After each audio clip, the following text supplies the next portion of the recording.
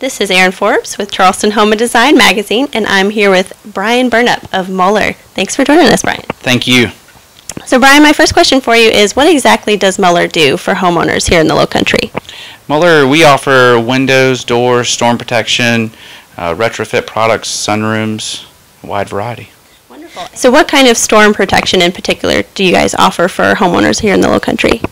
Thank you for asking. We offer a wide variety of products. Today we're featuring our Storm Trim product that we patented here in the Low Country with a fabric storm panel. You can install it, don't have to worry about it not fitting, you cannot see it uh, when it's not in place, and it's uh, very easy to install. Right. And you offer other kinds of uh, storm protection as well. Uh, what other types of storm protection for windows and doors do you offer? We offer shutters, roll down shutters, colonial shutters, uh, aluminum storm panels, most any type of hurricane rated product there is on the market. Perfect. And in particular, why did these homeowners choose this type of storm protection?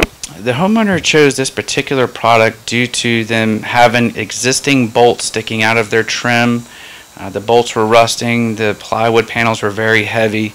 They had to throw them away after they were wet.